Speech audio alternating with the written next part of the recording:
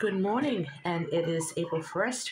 We have a new month and a new week, and we're starting things off right. And uh, this is going to be my first sip of coffee for the month of April. Here goes.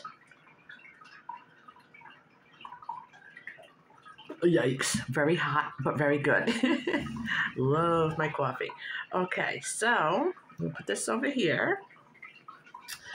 And um, I am going to just show you guys what we got on sale for food. Uh, if they call things sales, sometimes they are a real good buy, other times they are not. So let's go through this and then leave your opinions in the comments below and whether or not you think some of these things are good deals or not.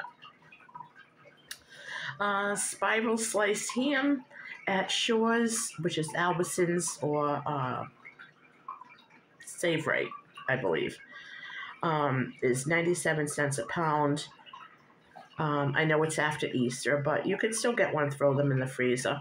I think that's a good buy. Um, they're not saying how much the prices are for the mixed berries, but it's buy two, get one free, but that's not always a bargain. Um, chicken tenders and the pork uh, St. Louis style ribs. Um, I'm thinking maybe um the ribs, but I don't. Maybe nowadays the two ninety nine for chicken tenders is good. I don't know. I just think it's very expensive. I remember my mother buying them for ninety nine cents a pound, and even I did. So they did have a three day sale, and they had beef, large, and rib roast, which you could actually cut into ribeye steaks if you like, and that is six ninety seven a pound. But you know the sale's over. They did have asparagus 87 cents a pound, limit two. The roast was the limit one. Um, I'm very picky with asparagus. If it's not very um, thin, it has to be the real thin one or I won't buy it. So you don't know until you get there to see how it is. Um, pineapples, $1.47. I don't think that's bad at all. It's cheaper than Aldi. Um, and they had bacon, three ninety seven a pound. Well, not a pound, 12 to 16 ounces um, depending on whether you got Oscar Mayer or Smithfield bacon. Crackers and chips, $1.97, limit six. They do that so that they're hoping you buy the six, you know, because on, on the meat and stuff, it's only a limit one. But God, on that junk food, you know, let's let's get that junk food in everyone's system, right? Uh, they have mayo limit one. With, You know, this is with the digital coupon, two ninety seven at Hellmann's, which is about probably what I pay for Aldi um, mayo. Land O'Lakes butters two ninety seven limit two, and they have some frozen vegetables. Um, they're very small though; they're not pounds like they used to be. Green Giant and Bird's Eye uh, 7 to 10.8 ounces, 77 cents each, limit 6. So I will say if you can get a hold of some coupons that you can stack with that on top of the digital coupon, like if you can come up with tangible paper coupons, that might be a good deal. Um, the back page is, eh, it's okay. Um, no, broccoli isn't worth $1.67 a pound right now to me. Anything else here I would buy? No, they got turkey breasts, $1.99 a pound. That's that's kind of cheap. That is really cheap. Um, leg of lamb, seven ninety nine a pound, which my dad always told me get American lamb, don't get the Australian lamb. I don't know why. He said the Australian lamb is very gamey. Um, The round, top round, four ninety nine a pound. Yeah, it's just the same old stuff. I usually don't get a lot of things that are on the inside of the ad because inside of the ad is more of just like shopping at the store. They say shop the perimeter, so it's the same thing with the ad. Um, that's what I found. That's my opinion. So we're gonna move on over to Market Basket, but first I need another sip of coffee.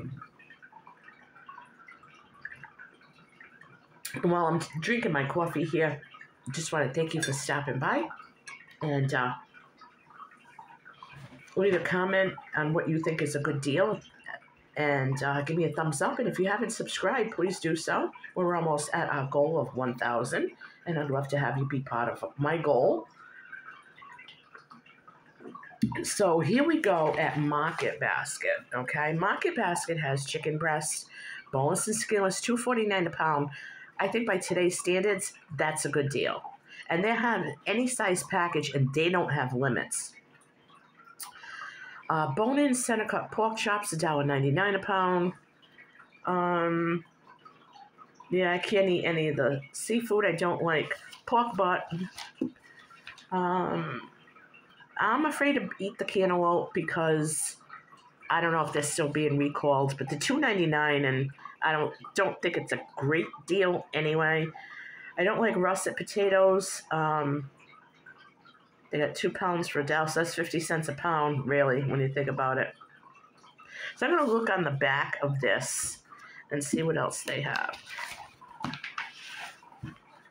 doesn't mean I'm going to these stores. It just means that, you know what, I haven't looked at the ad yet, so look at it with me.